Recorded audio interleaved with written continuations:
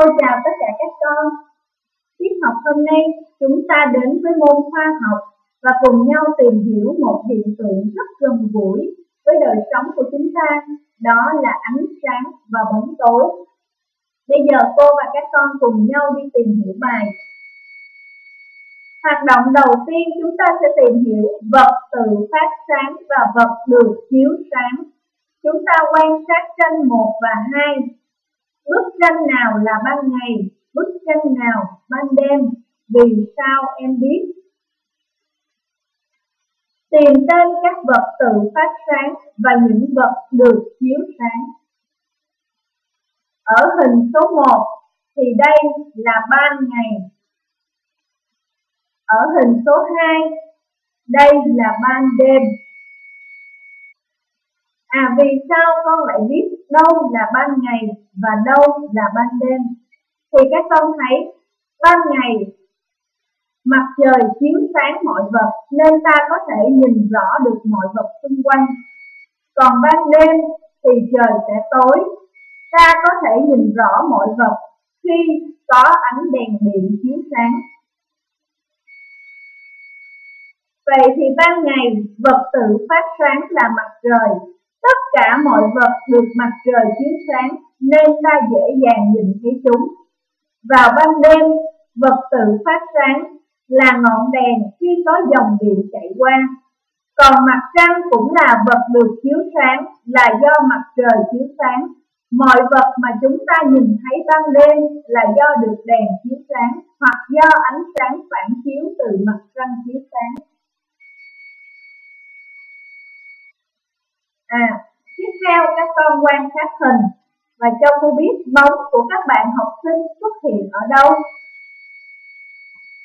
À, bóng của các bạn học sinh xuất hiện ở phía sau các bạn học sinh.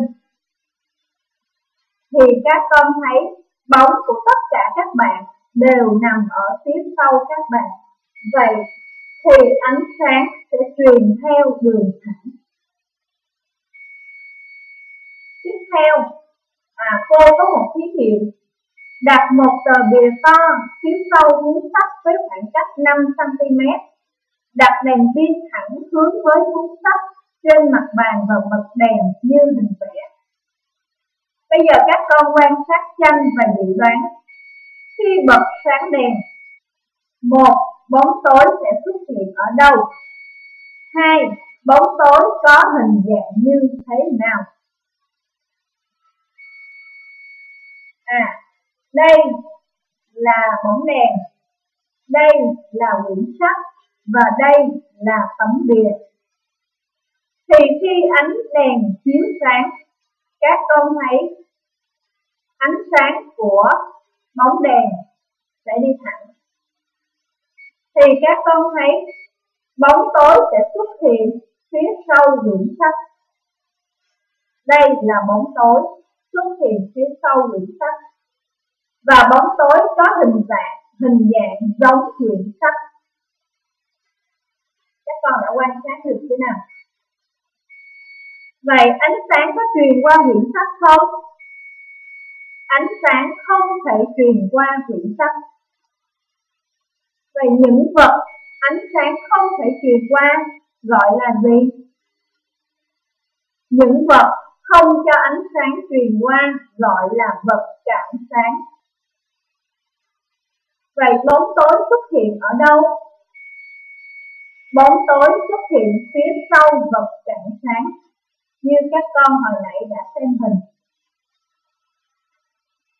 Vậy chúng ta có kết luận, khi gặp vật cản sáng, ánh sáng không truyền qua được nên phía sau vật có một vùng không nhận được ánh sáng truyền tới đó chính là vùng bóng tối.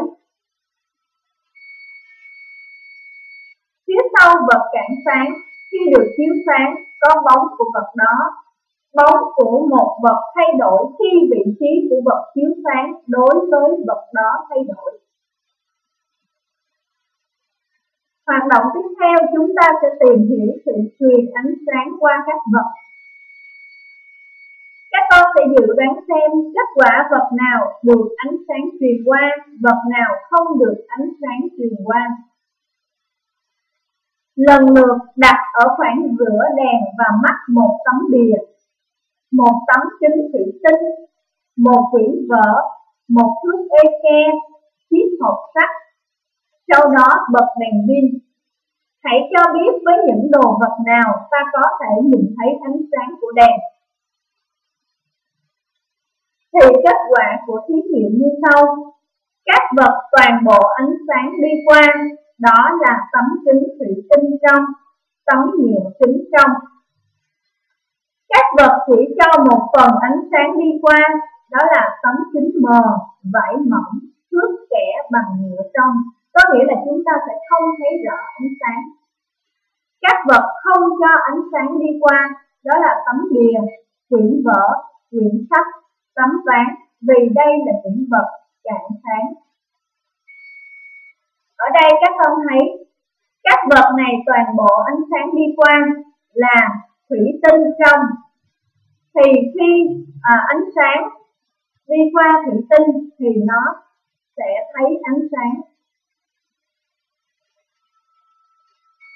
Còn các vật chỉ cho một phần ánh sáng đi qua như là những tấm kiến mờ.